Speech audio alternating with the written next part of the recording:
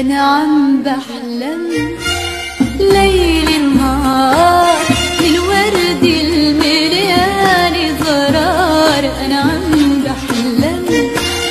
ليل نهار الورد المليان ضرار تقطف شمورة مسكر بالعطر